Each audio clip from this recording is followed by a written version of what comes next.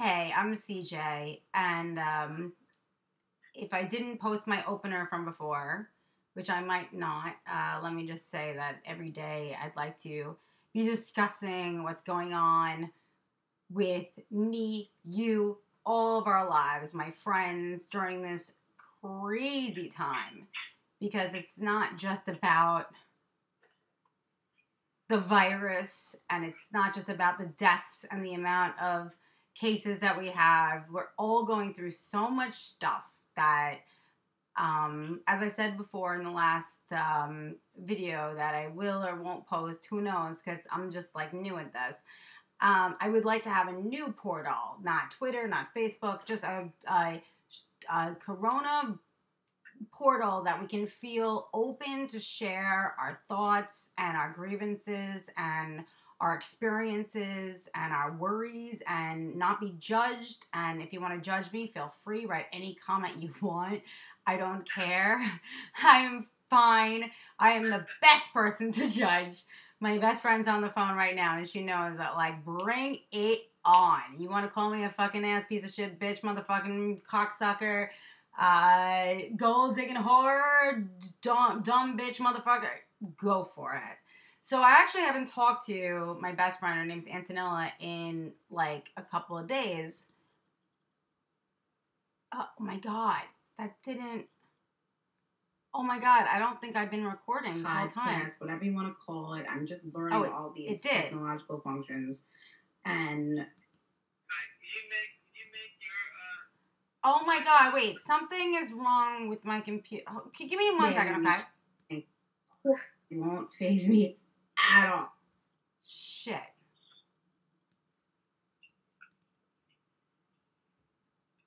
I know, I'm still going over here. That's fine.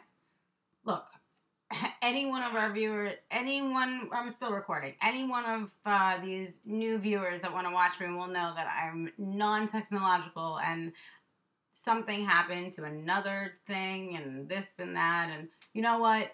We're not all here to be professional. We're here to just talk about our life and experiences and our grievances and XYZ. All right. So, Antonella. hi, yes. Okay. I haven't talked to you in a while, like since this actually all started.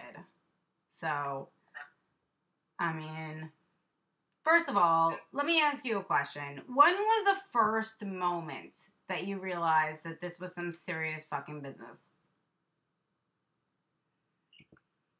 Um, probably when I had a couple of doctor's appointments. One was on uh, St. Valentine's Day. I'd gone to a few doctors, uh, not Valentine's Day, St. Patrick's Day. St. Patrick's Day is, was the doctor's appointment that Mhm. was canceled. I'd gone to a few other appointments that week, and like on the second appointment, it like it was the news was out, it was getting a little scary. Um, you know, the, the, it just had a weird feeling in the air. And, um, like, I didn't really want to be there, but be- it was before anybody was wearing masks or anything, and, you know, it was just like more like talk than anything, but I was still very uneasy. And then when my next appointment came up, they, can- they canceled it. Uh, so that was when. Um, uh, that March 17th? Well, March 17th is St. Patty's Day, so it was Yeah. right about that? Yeah. Okay. That's around.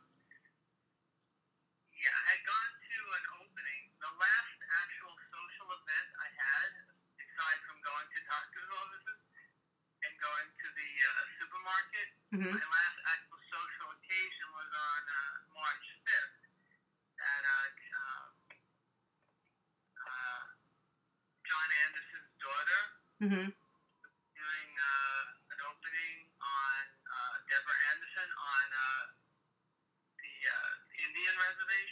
reservation, hmm um, and you know she she did a documentary on it, Lakota, and uh, she had a photo exhibit, and that that gallery was filled with people, and everybody was you know having the usual wine and everything, and I got a little nervous about that. So that was wait, what, that was in that was in February or March? That was March 5th. 5th. was Okay. the first real scary day, March 5th. Mhm. And that was like the Yeah. to socialize. Yeah, I, I actually remember that for you. Um, and I was actually a little nervous about that whole situation with you. I remember. I took, oh, that was when I, I took the train down, and I was really freaking out on the train. It was literally a packed car because it was like around. I took the train around the rush hour, like Mhm. five thirty or something. So when the car was packed. Everybody was sweaty, and I'm like, sure, I'm getting something here. how long? Like, But was it something that you were like fearing, or was it something that was just like starting to come about on the news? Like, how did you feel about it? was starting to come about on the news. Okay, so it still wasn't like something that you know was a big deal. It was just kind of like a word to be spread. Like, Yeah, there was word something like, you know, it's a very contagious uh, virus and spreading really fast. fast. Those were the words they used. Actually, contagious. I don't know if that's the words they used, but I felt, I felt, I had, a, you know, they gave me the impression that it was very contagious. Mm-hmm. It spreads very easily. Okay. I'm on that train, I'm like, if anyone coughs, like, forget about it. Like, I'm in big trouble. I was trying to cover. Where did where did you get that information from? I don't know.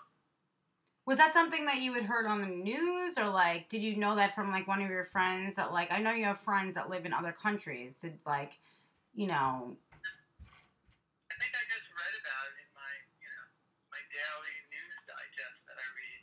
Mm-hmm. So that was March fifth. Okay. Yeah. So March March fifth. Um, I believe that was March seventh was a Saturday. So that was like a Thursday. That's funny because um, that's funny because that was the first day that it hit me. Really? Same day. Yeah. Be- so because I know that was a Thursday. So my my story when it really came like hit home was you know I play poker like and I like to go to these games and it's something I do. Um, Yeah. You know I like to get together with the same people. It's nice think it was to. a Thursday. Sorry. No, it was a Thursday. I just checked my. No, I I know it is because I I know I, I just have a weird thing about dates. Don't ever question my thing about dates. Um, sorry. you should be. know you're a, a idiot savant when it comes to calendars. I do, and I can actually tell you like other years about weird dates. I I don't know where it comes from. I just have like I, I don't know mnemonic devices for weird things, and but this this day I remember because I I I'm very um in I very much appreciate my poker game because I like to see those people, regardless if uh, we're all good players. We're all gonna either make money, not make money. It's gonna go up and down and up and down. We're all. Some people are a little bit up, some people a little bit down, but it's more about for me. It was. It's more about the social experience. Um, and I love the the game I have in Williamsburg, and I've been playing there for a while, and I love the people, and they treat me like a queen. You know, I'm the only girl that goes. They're so nice to me. They always are like, "What can we do for you?" You know, I I could leave things there, and they have their own little. They have their own little um, uh, area of like things I've left there. You know, like a little like like CJ Lost and Found. It's really really funny, and you know, I look and least. it's really really funny. They're just very very good to me. And that day i was there playing and i was seated in a seat that was facing the television. And the television's like on the wall kind of like a bar. Um it's like you know pretty high up but like i was the one facing it and it was on mute and we're all playing poker and i'm starting to you know we're all being very careful about you know using the the hand sanitizer. And Oh, really? oh yeah. I mean at this point yeah. But we're still kind of laughing at it in a way you know? Yeah. like we're still not it hasn't hit home yet. So we're still like i understand that some of the things that are the most you know contagious i mean please i've been going to atlantic city and las vegas for so long i know that there's nothing that can get you sick. Nothing has more germs on it than money and chips and cards. I know. Like those three things. So at least we're not dealing with money. We're just dealing with the chips and the cards. So so we're so we're we're having this game and we're all starting to feel like we're passing around the hand sanitizer all the time. They the the person that runs the game, his name is Chris. He keeps saying that he's been uh, running through the chips through like a big, uh, you know, dishwasher, if you will, and we're all feeling okay. And then all of a sudden, I'm sitting by the TV and I see it on mute. I'll never forget the moment. And I say to Chris, I said, "Did did I just see that?" Like am i insane or did i just see that? Like the words i just saw underneath the screen. And he goes what? What'd you see? And i'm like just turn around and look at that tv and and in, in a second they'll probably play it again. And a couple of seconds later they played it again it said the nba is shut down. Oh the nba is shut down. It's a big deal. and this was in march. This was a couple days before March Madness, where every single bar gets the optimum amount of money for that month with along with St. Patty's Day that's like their biggest month, you know, besides going into Christmas, you know, that's it. Like that's their and and there's so much to it. The commercials, the players, the you know, yeah. and I I just a big operation. and I I. I couldn't believe I never heard anything like that in my whole life. You know, I'm 37. I never heard a whole the NBA is going to be shut down. And then they said after that, we're shutting down all baseball so in, for until further notice. And I'm like, "Oh my god, this is actually..." And that was the moment that I realized it was real. I won some money. I had it was I left the game early enough to take the subway home. I was right off the J, right off the L. It's a beautiful ride home and I went, I think I'm just going to get in a cab because now I'm getting freaked out. And I got a-. I got freaked out. I went home. I've been out since for like a couple of doctor appointments, but that was the moment I realized shit just got real. Yeah. I think everyone has a moment where they realize shit just got real. You know, when the NBA just shuts down their entire season in in March Madness, you know. Yeah. So yeah, so since then it's been, you know, um, so I just want to tell anyone that's watching right now that I have very, very positive news. My brother is doing fantastic. He is a survivor of the coronavirus, and I have an exclusive interview with him tomorrow. And I'm very, very excited about it because he is such a introvert and he laughed at me when I asked about this, but I said, You're doing this, you're doing this, and so we're doing it. And so I think it's very, very important that people realize, uh, understand this is like a foreign there's a foreign disease to people. People have no idea how to feel about any of this because not only are the symptoms so different for everybody, there's like little kids don't even feel anything and they can be spreaders of the disease. It's like a riddle wrapped in a disease. It's just insane and no one really knows the answers. So I just think that to get as much data from each and every person and I'm so he has agreed to also after he does the interview with me that he's going to donate his plasma which is in they really really need it um i don't know if do you know the reason antonella why or i'm sure the viewers here don't know why Uh, I think I think they test the they look for the antibodies. No. no let me just let me just explain to you then um because i just learned this myself um so what happens is you have certain um blood after you get over a disease that is very very strong to fight that disease so they can use that blood to a person that can come into the hospital that's more similar to him. You can't really use it for like an old person who's like dying on a ventilator, like all that.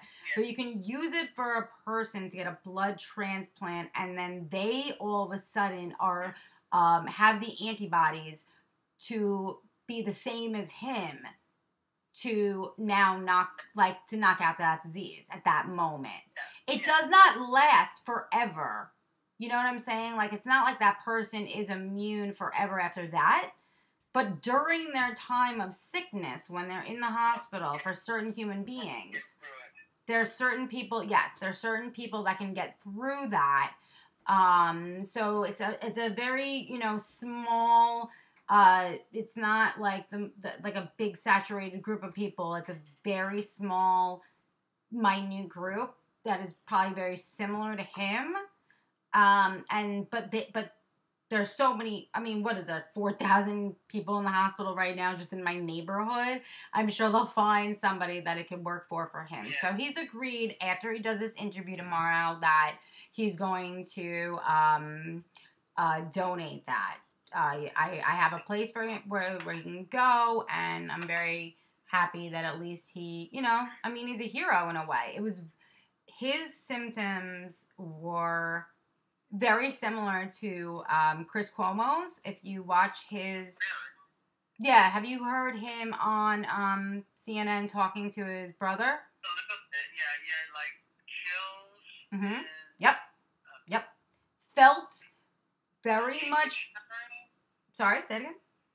His teeth were shattering that bad? He he felt the words that he used were he felt like his body was having a fight with itself. Those were the words that he used in a text to me that night. In a text to me that night, he said, It feels like my body is having a war with itself. And I'm like, and I could tell that he was completely hallucinating. He kept texting me weird. Oh, he was texting me things that did not make sense all night had a high temperature, right? Um, it, it wasn't. It's it's not. It wasn't so. If you, it wasn't so much about that. I'm sure he did. Um, but it was just apparently. I'm not a scientist here, but it seems like Chris Cuomo and him are about the same age. They're the same kind of. Um, they're in shape. They don't have any like prior, you know, illness, you know, prior, uh, you know, stuff going on. They're in good shape. They're like, you know, big, strong men um not fat not obese don't have like asthma or diabetes yada yada. So they both even live in the same area. They both live in the same like neighborhood like he lives whatever. So it but he was completely hallucinating and it sounds to me like the the worst comes at night. So they feel good during the day and then at night it's like the evil creeps in that's what Chris Cuomo said. And as soon as Chris Cuomo said it, my brother texted me and he was like, wow, someone gets it. And my brother is, yeah, yeah. And if you know my brother, you're not, you know that he's not one to exaggerate, kind of. He's not like me. He's not a type A personality. He's just an, you know, he just wants to be left alone. And he's, you know, but he was like, bam, that's me. Like he, he really felt it. And if you hear what Chris, Chris Cuomo said, he was kind of explaining this hallucination he had about how his brother, the you know the the governor, um, yeah. was like a, a like a ballet dancer and waving a wand, trying to trying to make all this go away. That's what he said um, on um, on TV while Mario Cuomo was doing his you know daily briefing. He you know got Chris Cuomo on the FaceTime, and that's what he said. And my brother went bam. My brother went, bam, that's me. But I, but tomorrow when I speak to him, because I'm very curious about that, I have not. My brother has not been well enough to speak about things like this. I want to ask him these questions, and he said that he's ready tomorrow to talk about them. The onset, like what was the first moment that you felt sick? Like when was it? What time of day? Like what was the date? what you know what what was going on? Did you still go to work? Did you still walk your dog? Were you still because i know that there was a moment that look i don't want to out my brother right now but i am. But he was not feeling well but he did not think this was before the coronavirus really became the forefront of the news. And he was still going to the dog park and walking his dog. And i was i was the one to be like you know you gotta you gotta really get away from this you can't be so public right now you're gonna get a lot of people sick and he was like nah, nah, nah. and i understand like um didn't know what he had, right? you had no idea. This was before. This was. This was around yeah, like this May, this March fifth like area. This is when it like all kind of came to fruition that like this was actually a big deal. So when he started saying that he wasn't feeling well, I just thought you're not feeling well. Maybe you ate something bad. Maybe you have the flu. Maybe you're cold. Maybe you you know.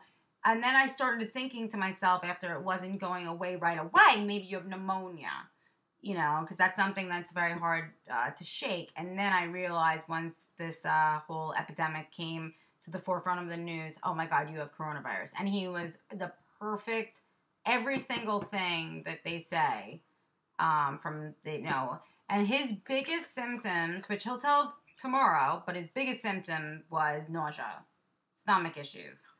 And I've never heard my brother ever complain about stomach issues. Ever. Wow. So he really he kept saying like he felt like there was a river at the bottom of his belly that felt like a river of enzymes. Like I guess if when you're really I guess the best way I could put it is like when you're really, really hungover and you have all these like, you know, bile, this disgusting bile, and you just need to get it out. But he like couldn't really get it out. Like it just stayed there. Like it just stayed there. Like And- he had a poison in him and he wanted to inject it. Do you know what I mean by like when you have like that disgusting bile, like kind of brewing, a brewery of bile at the bottom of your tummy? Like it's just nasty. So that's the way he kept describing it to me, and he, I, he really never in my life, um, he never really had that bad nausea, and especially for if you have nausea, it's you know by what you've done to yourself. So it's self inflicted. You've been hungover, you took too many drugs, blah, blah, blah. And so this shit goes away and you know what it is. When you didn't do anything, you weren't out drinking, you weren't partying, you weren't taking drugs, you didn't go to a concert, you didn't, you know, go to a fucking festival. It's scary as well. So that in itself, the fear of not knowing any of what it was, we will lead me into a couple of days, like two weeks later, when he started complaining about, not complaining, I don't want to use that word, when he started talking about um, that he was having a little bit of trouble breathing, he did, he couldn't pinpoint if it was from anxiety. Because that's so scary to be, to be sick for that many days and have nobody come to your aid during this epidemic when I can't even go to his apartment and help because I'm not allowed. Right? Think about like what that's like. So you're all the fuck alone. So I think the anxiety, he couldn't tell if it was the um the anxiousness that was making him not be able to breathe or it was an actual thing. And so to I have difficulty breathing and I, it, it scares me whether I have it or not. But I think it's anxiety. I think that that's I think that exactly what you're saying right now is probably how he was feeling. Was just he was just racked with anxiety. When you're sick for that amount of days, I've never been sick for that amount of days, um, and not had anyone come to my to my aid to take care of me. And you can't even. Uh, he he was com- said he couldn't even really read the articles online is his eyes would be out of focus uh, because it would make him so nauseous and so it, You usually die that way. who dies You can easily die in that condition. It, it can get worse it got worse, you know? womp womp to to anyone who's listening here, you have to know the uh, situation between me and Antonella. She's Debbie Downer. I'm I like to uh, have a the cup is full, but anything I say, it's always like you'll be dead. Eh, you'll die. Eh, you know. So that's what. So we'll have. I'll have. I'll have a lot more information when I speak to him tomorrow about this because I, he probably has a wealth of knowledge that he has not been able to speak about because he was that sick. Like he could not speak. The only person he was speaking to was me for one reason. Do you want to hear the one reason while he while he was talking to me Um, and nobody yeah. else? Huh? I said, "Do you want to hear the one reason that he was talking to me and nobody else?" Yes. Because I had some leverage. I said, "If you do not pick up the phone, I just show up." So the fear of the fear of me showing up was so great that he knew every day he had to get back to me or else it'd be a knock knock knock with me with a hazmat at his place you know ready to fucking annoy him Was, he afraid for your health, or he was just like so sick of? No he didn't want to nobody when you're sick the last thing you want to see is your little sister So I said to him, if you don't pick, if I don't hear from you every day, I'm just gonna show up, and I meant it. So that fear instilled with him. I was the only person he would call, so I liked that. I had a little bit of leverage, so I was able to get in touch with my, you know, crazy Jewish mom and dad, and say, hey, you know, he's fine, he's alive, he's good. They're like, how come he's calling you and not me? You know, my mom, how come you call he's calling you and not me? I said, because he knows that little sister's gonna show up and be like, Corona persona, what's up? And you know, he that fear of me just showing up was so great that I was able to communicate with him. So let's just talk about uh let's change the subject for a second and Yeah, let's, let's but yeah, let's talk about what we actually. I mean, look, we have a we have an Indian in chief, and we're both aware of it. But what's going on right now is something that I really want to like. I I really wish I could just. Can I just start this video again so I can talk to these viewers because it's so freaking important that everyone knows what's going on.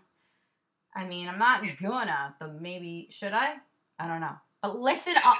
What was it for now?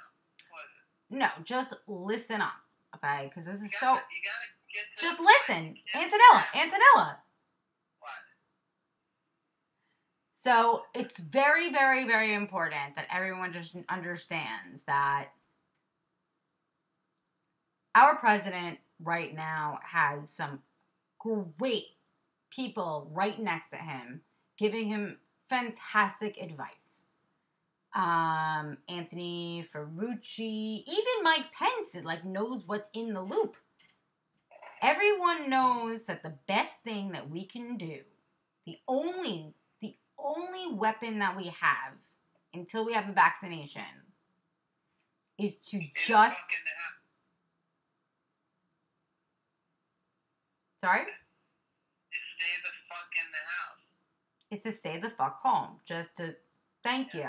Thank you for finishing my sentence as if like no one knew where i was going with that. Yeah, but he's the fucking president. He has a little bit more than just telling everyone to stay in the house, you know? And that's where he's failing. well that's where i mean what did you think i wasn't getting there Well, get there.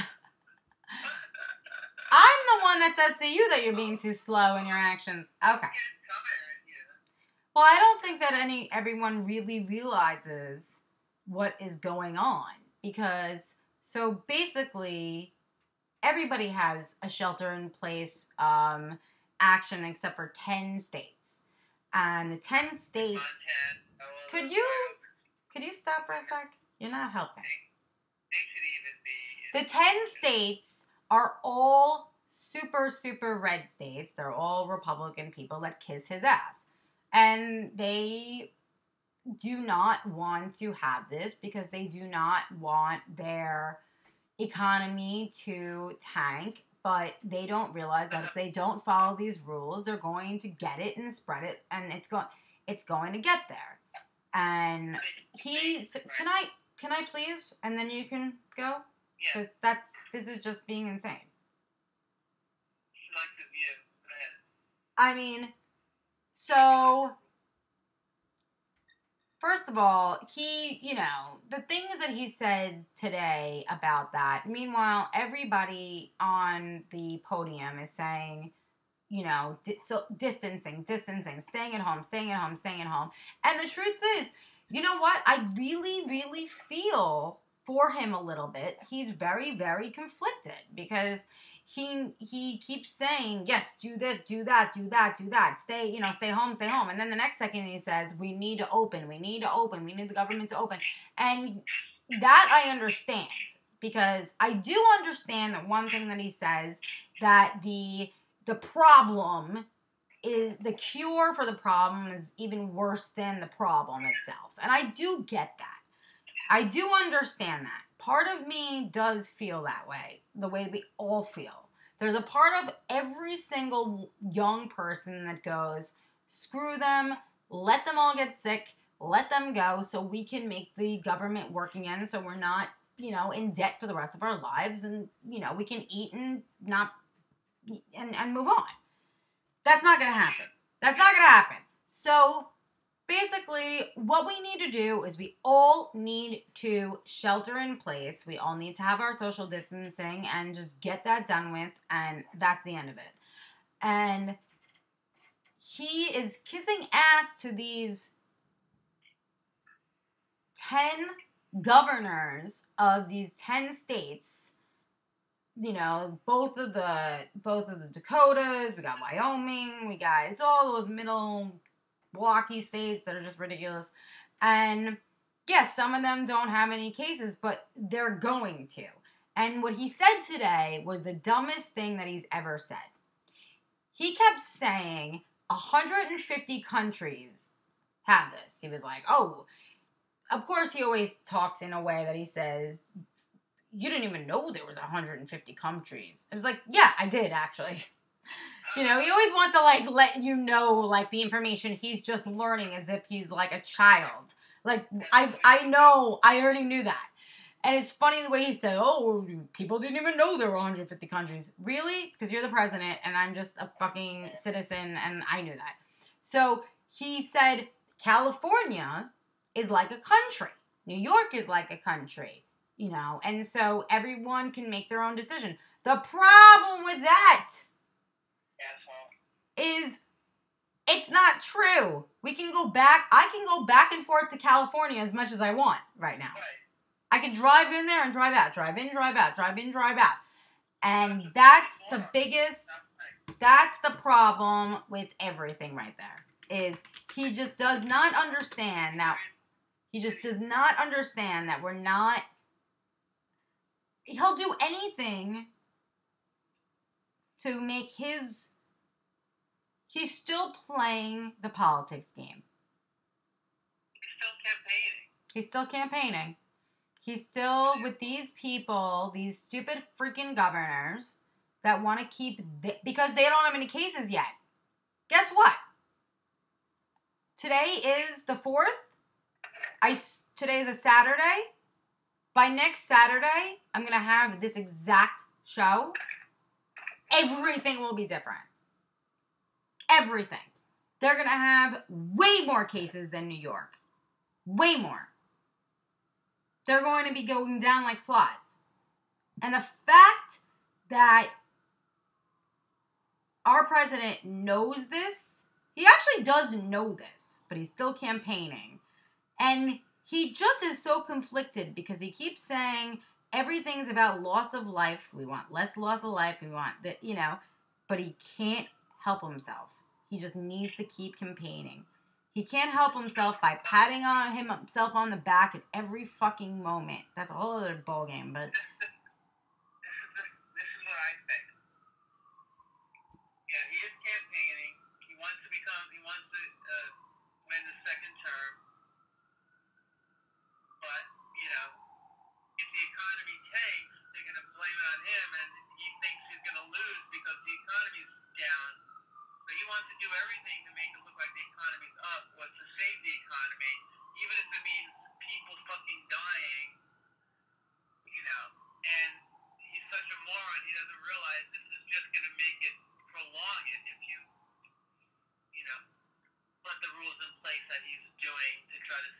Like absolutely. I mean, and their reasoning is like they're very like He's a fucking moron. they're very these are very these are states that have a lot of they're they're they're Jesus-y states. So they're like live and let live, especially we're coming close to Easter and Palm Sunday and all that crap. And they're like, uh uh oh hell no. They're like literally not even talking that much about the today. They weren't talking as much about the economy as they were about things like that. Which was even more fucking annoying. Because at least I can fucking understand if you're talking about how you can't feed your children if you can't work. But they're literally talking about not being able to have an egg, egg hunt on Easter with their fucking family and going to services. You know? Really, I think he really. He really is a madman at this point. If you saw him, did you? I, I, I already know right now by talking to you that you were not watching him on stage today, and that's what it is—a fucking stage. Um, I already know that you didn't, because I know, I know what you're saying. It does not correlate to what I saw today. You would know exactly what I'm talking about, and I wouldn't have to explain anything. And usually, me and you are like in sync, and I could tell you didn't. Um, it was the weirdest shit and it went on. Today was the longest one of these task force um, uh, meetings that they ever had. It was an hour and forty three minutes because he every he was so going back and forth and back. One second he's just all about the science and social distancing and listen to the scientists and da da da da. And then one second later he's like, no, you know, in the other side of his brain, and he just The guy to get and he only and and be and and and in your wavering if you're campaigning during an epidemic you're gonna lose everything. You cannot have it both ways. You can't. You gotta stick to the facts stick to science and if he's going to play that game he's gonna lose and you're gonna see how he's gonna lose i don't i mean that these people are going to die in the by the dozens, by the thousands. And it's gonna be great. And I kind of fucking hope it. I want it. hundreds of thousands. Did- Hundreds of thousands. I mean, did you hear about did you hear that governor uh, in Georgia what he said today? Did you hear? He said today, I'm officially going to shut down my state because I didn't realize that you can have coronavirus and not have symptoms and not show symptoms. can spread it without having symptoms. All that. I mean, that's on top of that. Moron. Another fucking idiot who's not doing his How can you not know that? Zariah is seven, and she knows that. And she's not. And- I know. I know kids that are literally six and seven. I know. I mean, that know that.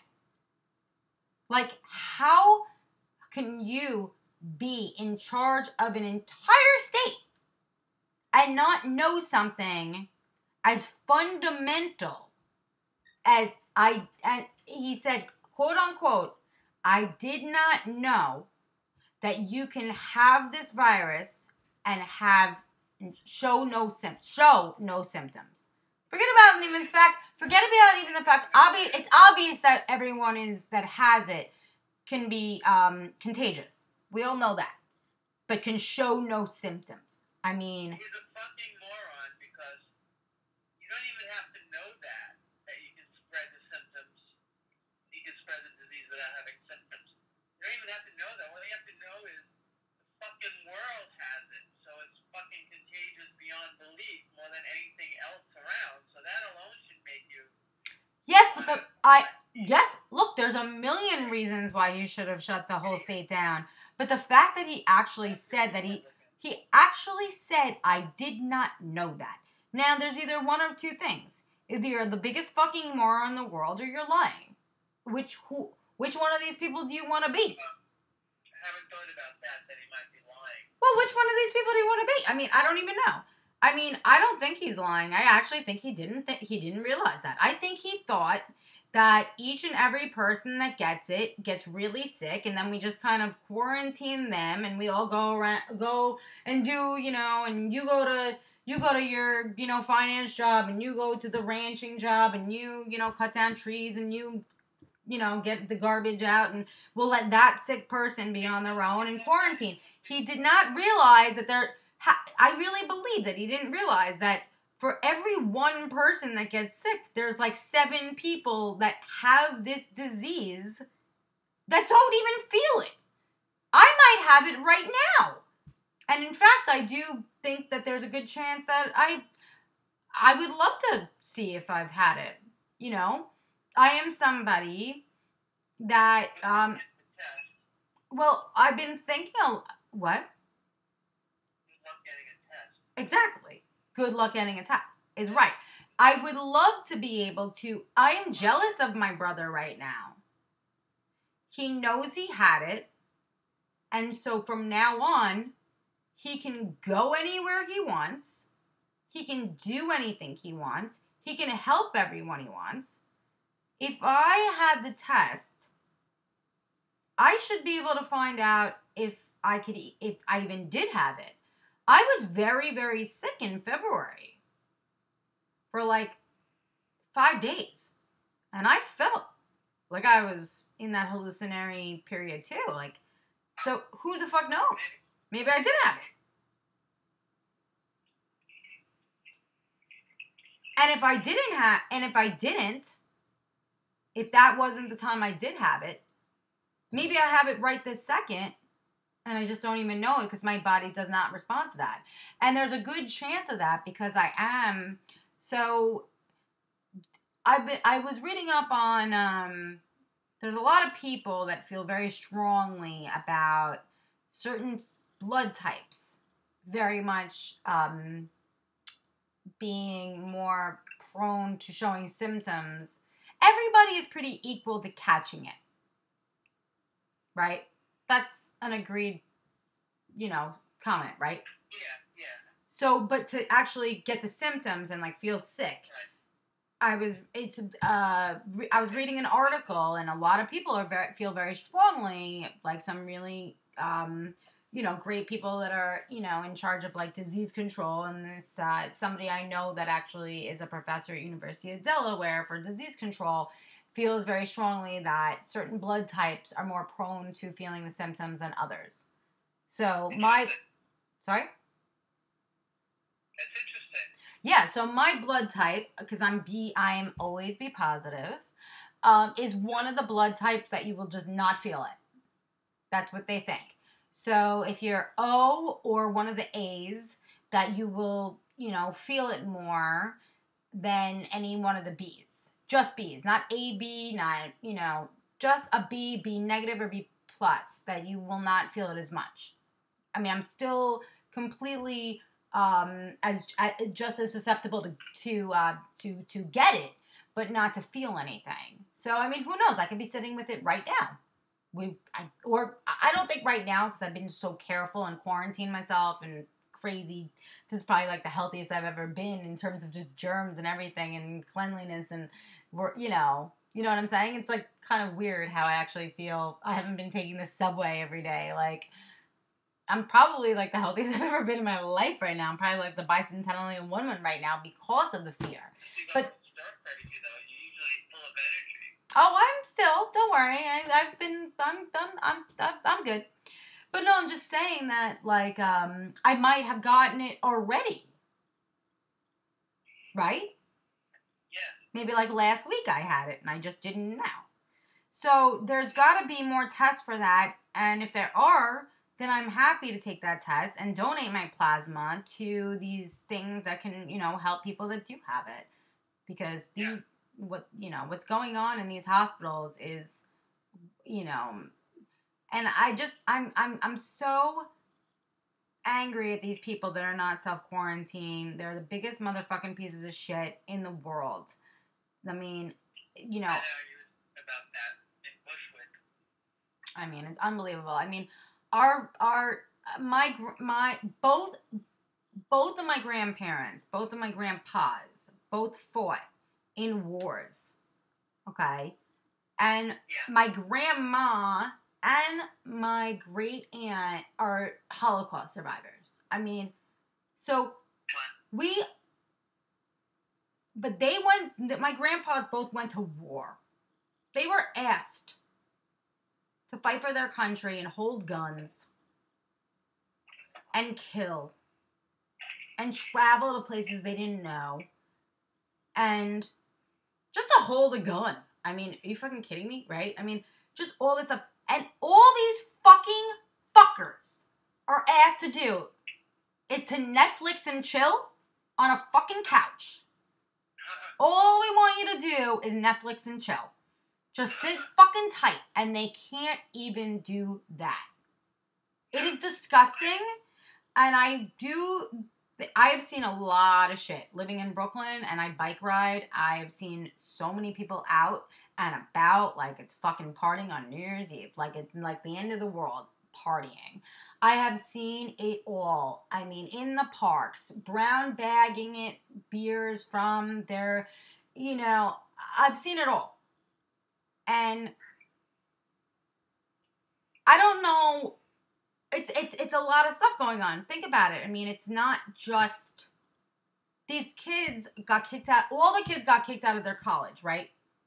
Like we're sent home, right? Yeah. So we're not just dealing with that. Schools are closed. So now we're dealing with high school kids, college kids. We're dealing with so many fucking age groups that are not in school.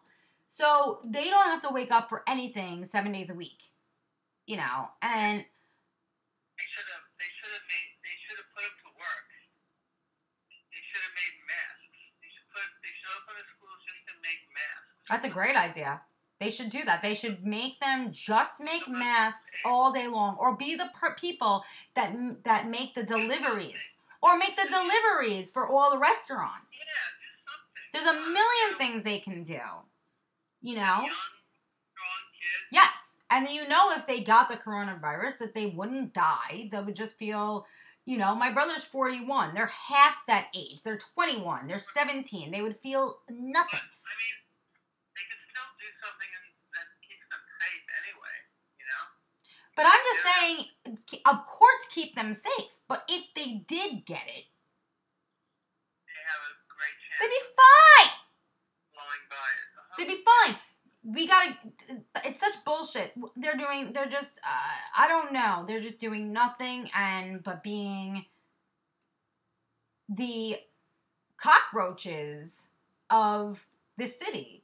They're just going out and then just dispersing and feeding this disease that they could have and not know they have and have no no uh you know no symptoms and just giving it to all the old people. You have no idea how often sitting in my house i hear um you know the trucks go by. Trucks. the ambulances go by. It's pretty much it's pretty much every two minutes Wow. See, I'm, I'm in a whole different world over here. Well, yeah, I mean, it's you're in a very um, you're in a more wealthy area, so it is a there is an exact indirect cor there's an is a it's an indirect correlation if you want to call it like that indirect. So let's let's make a direct correlation, okay? So let's make it easy. I'm gonna just like use my hand. The less money you have, the more you are spreading this virus. Right. Okay? Yeah. Period. For Yeah. so many reasons. You can give me a re- I've I've got many many reasons. Number 1, okay? Those are the people that can't afford to just stay home. And so they still have to go to their job. So let's just say they're MTA workers. Let's just say they're they're garbage workers. They're postal people. They're for something for the city. They're just cl- whatever they're doing. They still have to show the fuck up. Okay. That's the first thing. Number two, most of the jobs that very rich white people have can do from home. Let's just say you're somebody that works on Wall Street, okay? Let's say you're somebody that's, you can do a lot of these things from home, okay? So that's the second thing. Most of the, most people that, ha- that are in the um, lesser bracket what are you gonna if you're a garbage man? How are you gonna work from home? What are you gonna GPS where the garbage is? Like, come on, you're not doing that. Okay, so that's the Yeah. second reason. Okay, number three, they're just not as informed. Okay, they're not as in. They do not have as much. Uh, they don't watch the news. They're not as college educated. They might not even be able to afford just regular basic cable to watch CNN. You know, they don't know what's going on. And then there's so many more reasons I can keep on going all day long. They can't afford childcare, so their kid is running rampant, and then they're getting it from their kid, right? There's, there's more people packed into the same apartment. They could they can't afford to um, go to like the Whole Foods and get like you know three hundred dollars worth of groceries at one second. They're still going to the, the deli every day, and they're not they're not That's true. there's so I can keep going. There, that's like seven reasons I gave you. I could keep going all day long. Um, Yeah. They don't have cars, so they're traveling. You know, Yeah, buses and trains. yeah. Um, they are. Um, they don't um, have um, the, the they have not bought the hand sanitizer, the mask, all those things, which are now like seven. It's like twenty dollars for a little bottle of hand sanitizer now. They're not doing it. didn't use that hand sanitizer either. I didn't buy any. Okay, but that's you. But you don't have a family. There's you live in a very rich white area. A lot of people do have families, right? They are buying that. But it's also very corporate here and, and uh, touristy. Well, forget about okay, forget about your block. Okay, don't think about your block. Think about your whole area. Think about a one mile, two mile radius, and then think about my two mile radius in a circle. Okay, My two mile radius encompasses brownstones and businesses and Times Square and office buildings. You know, a a mixture it's rich white people that live there. Period. Rich, the people that live here, yeah. all That's it. There's nothing more to say to that about that. No one's going. That's it. No one's going to work. Forget about going to work. Who lives there? Who lives there? Also, you have tourists here. You have hotels. Forget. There's no tourism going on. You're being an idiot right now, and it's That's pissing me off. That's what I'm saying. Where you live, everyone that lives in a two mile radius of where you are lives. Okay, because everyone's just living right now in their house. Okay, there's nobody hanging out at hotels right now for a day and then traveling to the next place, and it's not happening. Everybody that lives in a two mile radius from you is a rich white person. 95%. Everyone that lives around me right now is a poor Latino or black person. Okay? Right. So get your shit to like do not why are you even Yeah, I get it. No, no. Okay, so I don't know I'm why contradicting you. I don't know but I don't know I don't know. Whatever. I don't know why you're you kind of a sort of arguing with me about something. I'm just, I'm just trying to bring the point that I don't hear. It's different. It's just a different world compared to yours. Yes. I'm aware. I'm disconnected from it really because I don't see people hanging out. You know, like in your neighborhood. Okay. Well, th- first of all, they're not hanging out in my exact neighborhood because my neighborhood, well, my street, when you walk outside my door, it's too Yeah. big of a two-way road and too lit up. No one's hanging out. Yeah. Okay. Right. I'm talking about when I ride my bike and I start running around for about a half a mile to a mile. It's party fucking central. Okay. Okay. That's Yeah. not ha- that's not happening by you. Now, it might be. It might be with these white people hanging out by you, let's just say going all the way to the water. Let's just say that they're on the lower west side, they're hanging out by the water. You know, these kids that are home from college, maybe they sneak out, maybe they're hanging out together. If that does happen and they're hanging out, right? They still are in a lower bracket of like giving into each other because they're going back to their houses and it's just not running rampant over there. It's just not. So, you know, it's it's just right now, it's just these people are being so selfish and disgusting. And, you know, unfortunately I have a lot of footage around my neighborhood, but I'm too scared to do anything with it because don't think it's. You don't think it's. Uh, sorry. I think that I think I know that they'd probably find me and kill me if I posted it. I know that. So I have to be very careful. And I don't think that me doing anything about that will alter any of their behaviors. I've already called 311. I've done everything I could.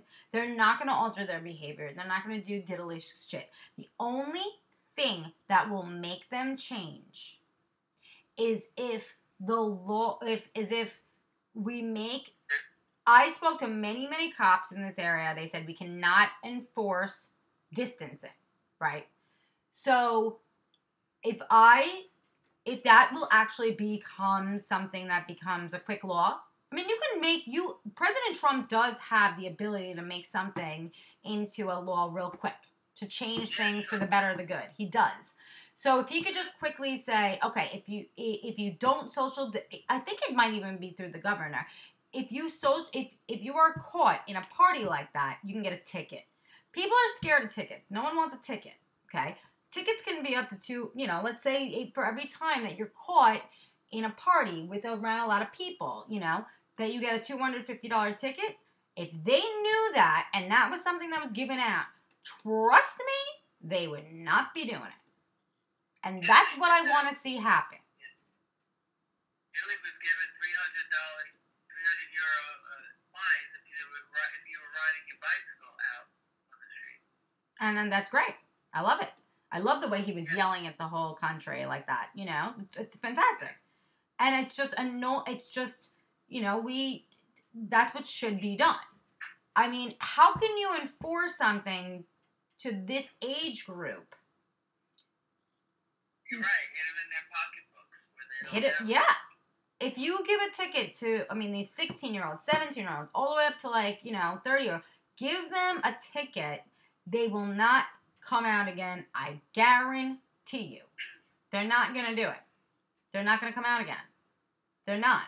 That's the only so thing that. think, hold it. You think uh, they're doing this just out of ignorance? They don't realize that they're.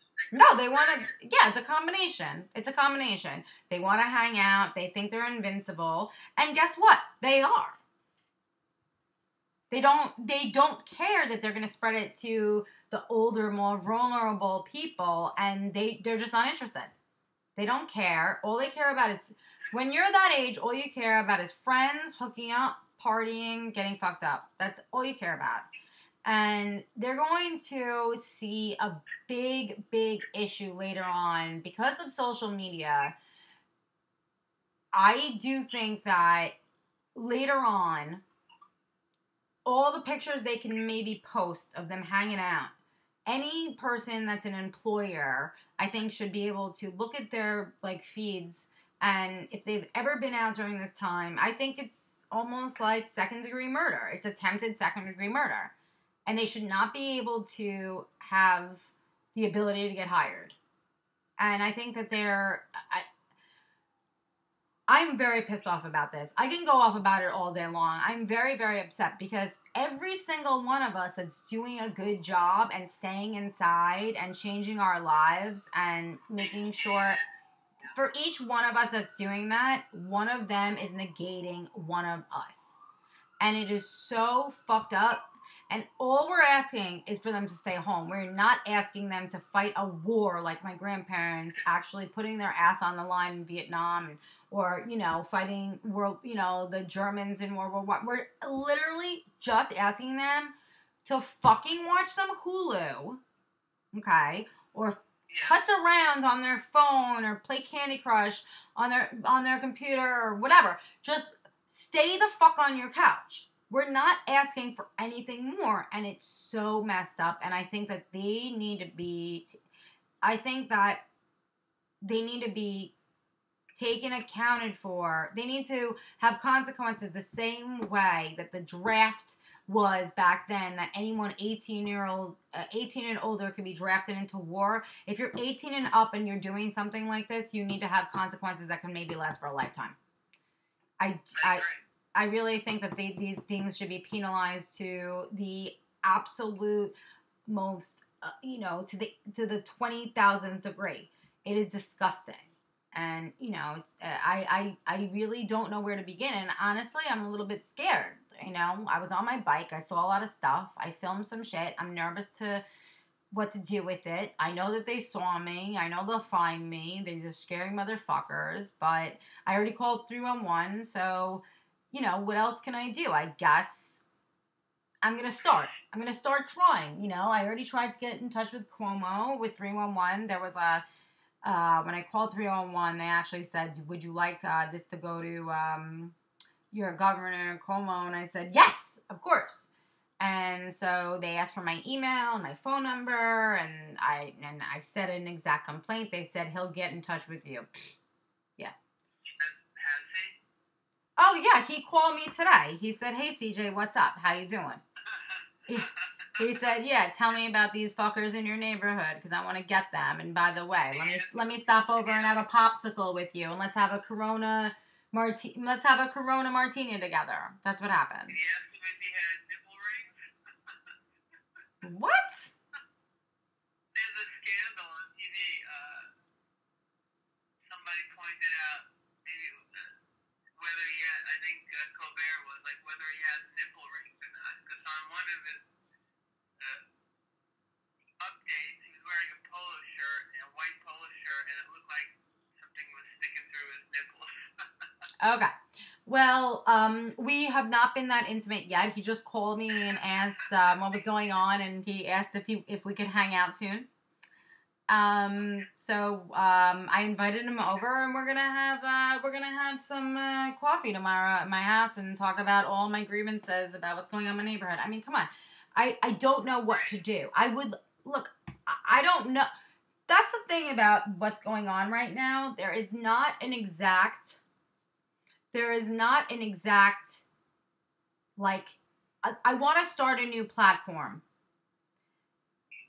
not Twitter, not your Facebook, not whatever, just devoted to this and about these kind of things. And like how we can improve the situation, what we can do. You know, I don't really need a lot of like, oh, I, I wrote a song to lift y'all up. I mean, more, let's get something done. You know, Let's find the fuckers that are not obeying by these new rules while all the rest of us do, and let's get them. Like though I I need a new platform like that. And so, you know, why can't I create something like that? So um I want to call it I want to call it the uh I I already know what I want to call it because I came up with this today in the shower where I come up with all my fantastic ideas. Um, I want to call it the Corona persona. And each person can, you know, be, you know, you want to be a badass? Let's be a badass. You want to be, um, you know, an uplifter? Be an uplifter. You want to be, but there's no room for anyone that is not going to be on board. Because we need to be on board because I need to know, I need to know that I can see my friends soon. And I can play a soccer game. And I can go to a concert and I can see my family. And I can go to a wedding. And I can fucking hug my fucking brother. And I can hug my family and see the people I love. And they're blocking me from that. So there's no more of this bullshit. No more Mrs. Nice Girl anymore. So the per- Corona persona, it's like you're gonna be a badass or you know or you know what is your place in this area to help out with making this happen you know because that's what we need to do i mean the scientists can find a vaccine unfortunately we need to get rid of our fucking president. He's such an asshole. well you know what that's not going to happen so let's have goals that actually can can be reached the main problem. He's the problem right there. no one's listening to him i'm telling you Causing more damage. than if you heard him today no one was even listening to him nobody was I have a question. I have a question. i have an answer You didn't hear my question. i'm sure i will Okay. Here I am, the Corona persona, here at your service. Okay, good. Anytime this asshole is on doing his update, right? Mhm.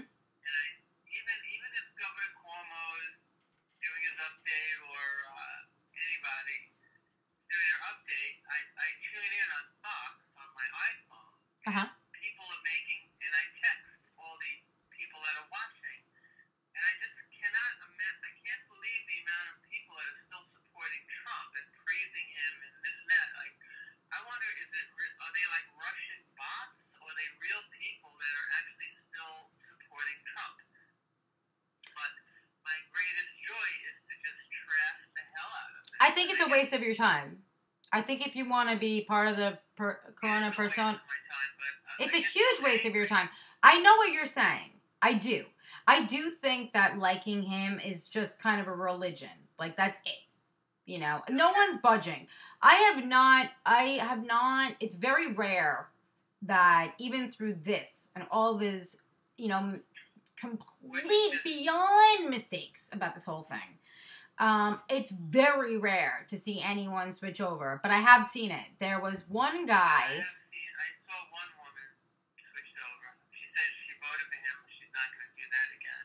Did you see it in, in? Is she a friend of yours, or did you see it on the news? No, no, just an anonymous person making comments. Okay. As, he's talking real time, people are making comments. hmm You know, and she's like, you know, I, I can't believe how horrible he is to this country. I voted for him last time, but not again. Like that. I saw something um, on uh, the news that there was um, a woman. She was married to a vet, and um, um, he was making light of the whole situation. So he w- kept going out and doing what he was doing, and he got sick and he died. And that was her husband. So she Wow. keeps, she keeps. So she said on the news, you know, if, if he didn't make light of it, I listened to everything that Trump has ever said.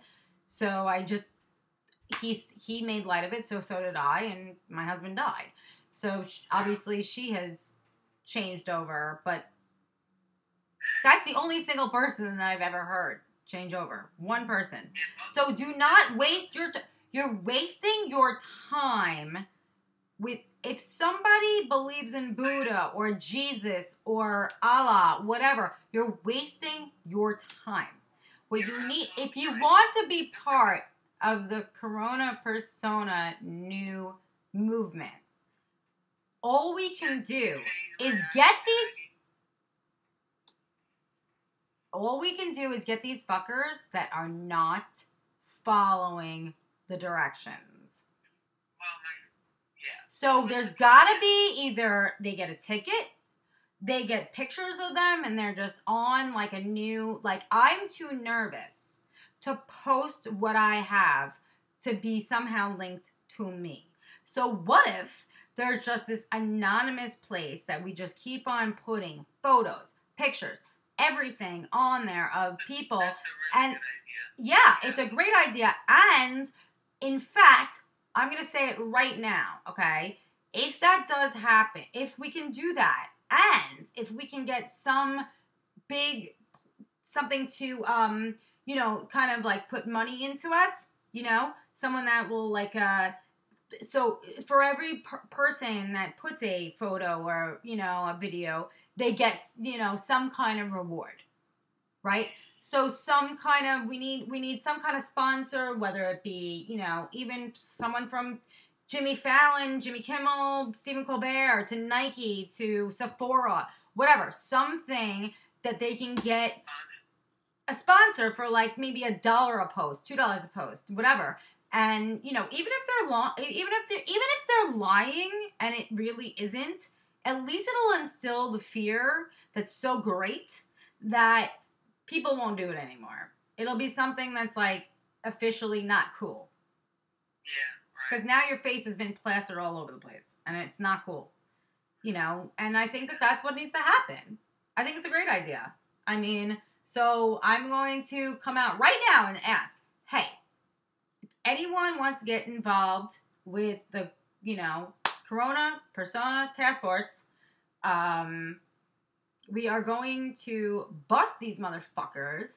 That for every one of us that's doing the right thing, and they're doing the wrong thing. They're just negating one of us. And let's bust them. Let's let's let's let's be done with them. It's enough. Yeah, that's a good idea. Who the fuck you think you are? Sooner these, sooner these jackasses sequester themselves and not spread it, the sooner it'll be over. You're just prolonging pain. Oh man, it's just. I mean, they're, they're just really just the the the the amount that they can do. You can you're one person let's just say you have it, you don't have symptoms, you can literally affect like a whole state. Like, hey, I'm just gonna like drive through Wyoming and maybe like maybe I'm just gonna like pump my I'm just gonna like maybe drive maybe I'm just gonna drive to another state and like even just pump my gas here, buy like a sandwich. You can get that one person sick. You can get a whole fucking state sick. I think they say each person can averagely affect one and a half people. Oh, it's way more than that. Do you know do you know how I don't know if you know this. Um, do you know how it started in Australia? Australia? It's it was it was it was one of us. It was um it was last year. It was the end of the year. It was a wedding. 75 people were at the wedding.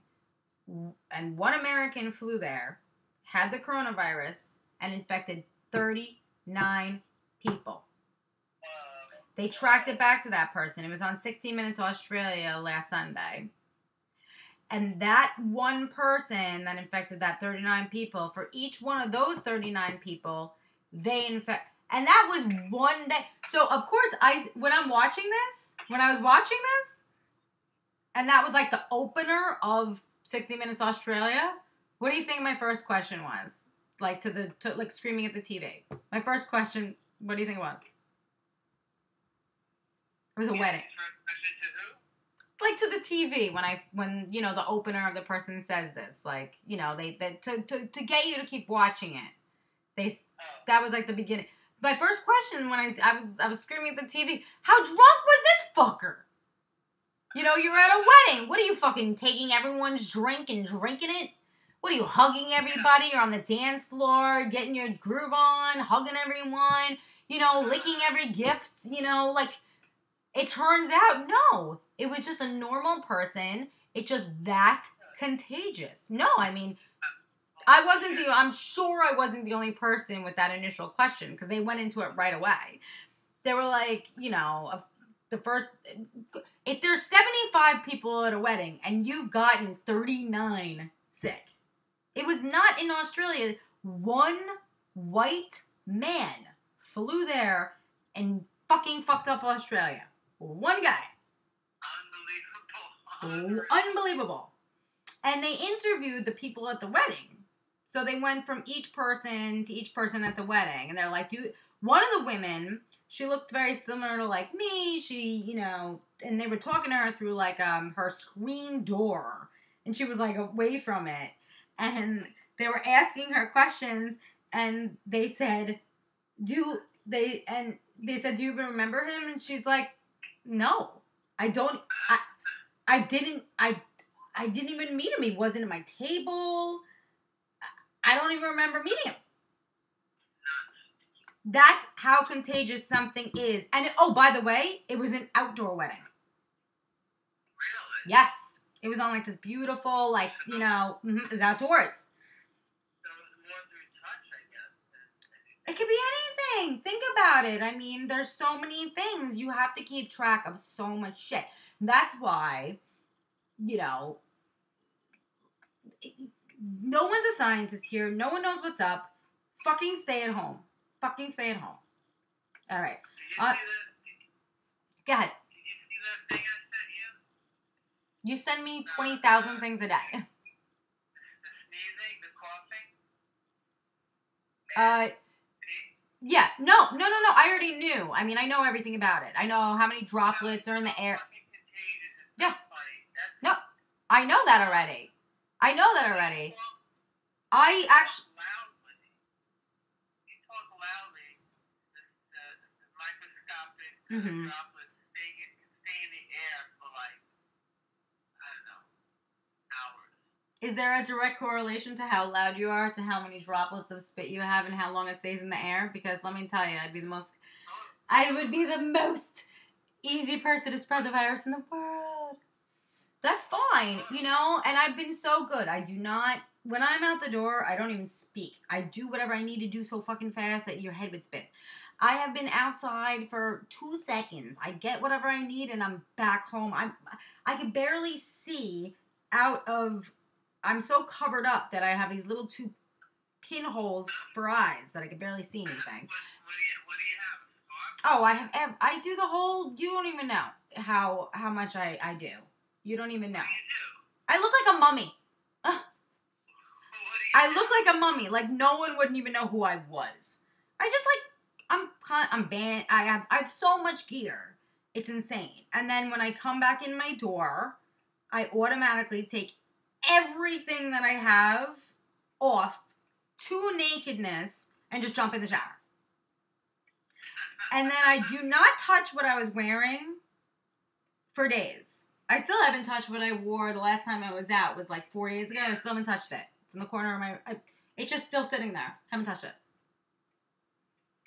So I mean, that's a little bit insane. But knowing that what my brother's gone through, it's really been a big. When you, I think that that is also something that might change the way that these young people feel. Maybe they need to actually see someone die or get really sick.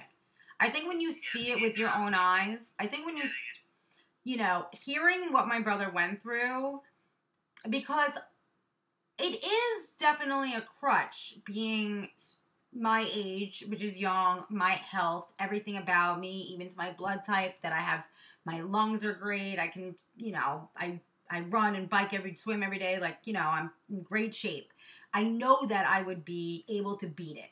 And so that is definitely, I will say right away. I mean, it's definitely a crutch. Do I want to infect people? No, but I can understand that little, you know, part of you that if I get it. But when you when when speaking to my brother on a daily basis, sometimes four times a day, and hearing the absolute and I've known him for 37 years, and hearing the agony, I never ever heard him speak like this. Yeah. Hearing that, you just go, you just do not want that. Live or die. You do not want that. Period. You just don't want it. And so you'll do anything to avoid it. And I think that even if you're going to, if you can't, if you cannot grab people by, if you, if, if people are just going to be selfish and go, oh, I'll be fine, you know, the only way is maybe to scare them with either a letting like seeing their lovers their friends their family die or if they actually see somebody get really sick to the point where they're hallucinating throwing up i mean my brother was throwing up like crazy like it was the most i've never heard him like that the the, the, the agony the this, this just torture he called it torture you know multiple times and i never heard him speak like that so I, you know, I think if you're if people are going to be selfish, the only way to get them to, you know, get on board is to a have a ticket. I think the ticket is a great idea. Or B and B to see that they can actually get really sick and get and it's agony. You know, it's it's it's you know, these kids think they're invincible. I can't stand them. Yeah. So I'm I'm I'm glad that your neighborhood is doing what's best, but it's it's it's not shocking. Of course they are. They can, you know, they're smarter. They have more money. They have jobs that they can work from home. There's twenty thousand reasons why, you know. And then here it's just it's madness. It's just madness.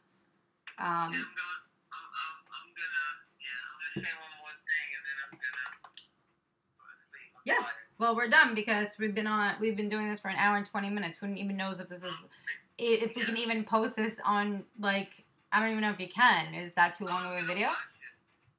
Too long.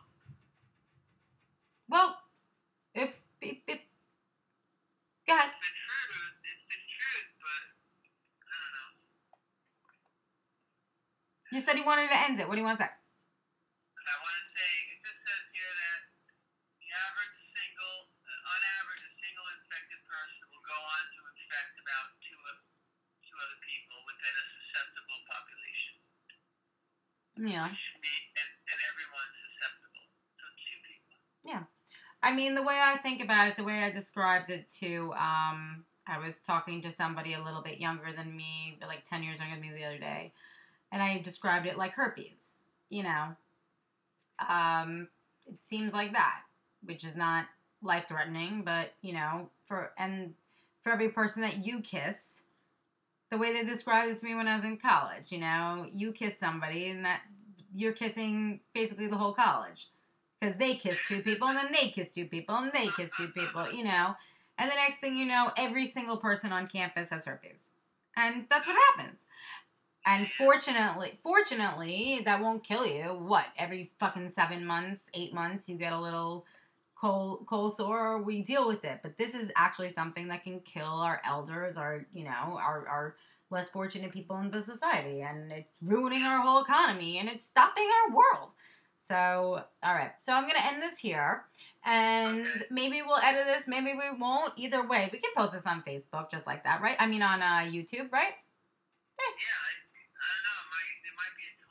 Eh, well, whatever. We'll, think you can. I think you can. well, we'll try. And if not, maybe we'll just get rid of the whole you talking and just keep me. I'm kidding.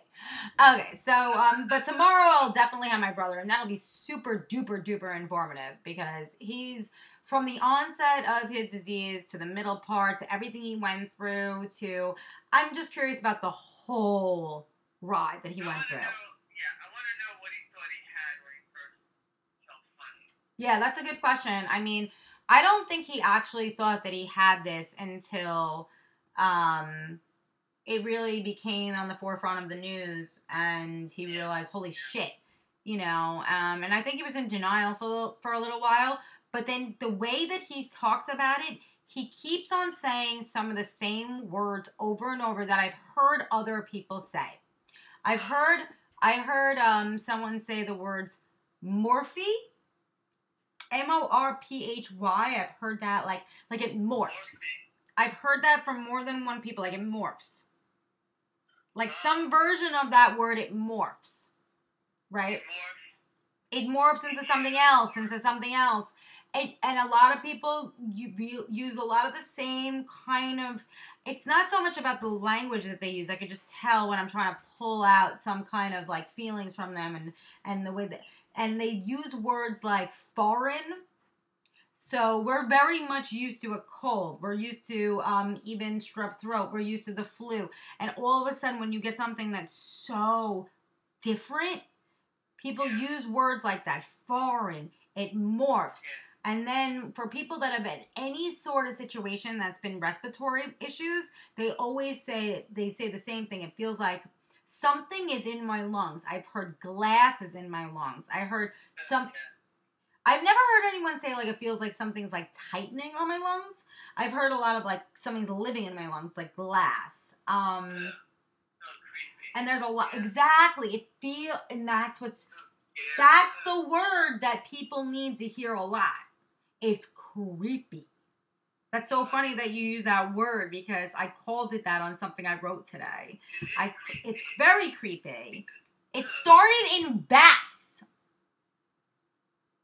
Yeah. Bats. People need to be- Yeah, people to be more scared about it. Like, It's what does it do to you? It gets in your lungs and it fills your lungs with like an amoeba, like a weird Jesus. creature, like in your lungs, Ugh. trying to live, trying to take your lungs over. I know it's like it's like if if I could if I could actually take those people in my neighborhood and sit them in front of a fucking projector and watch some f- goddamn videos, you know, just watch some videos that like some scientific like shit, and then they'll be like, you know, I feel like they, you know, it, you know, edu- learning is everything, you know, information is key. Like, when I was when I went to high school, they showed us the film Death on the Highway. It was hideous, it was horrible. hmm Like a half an hour of just like showing us road accidents, like Mm. the aftermath of like road accidents. Good, I'm glad, and you're probably that's why you drive like an old lady. And I'm happy about that. I'm glad. I would rather drive with you than some, you know. I do. I like driving with you. It's fine.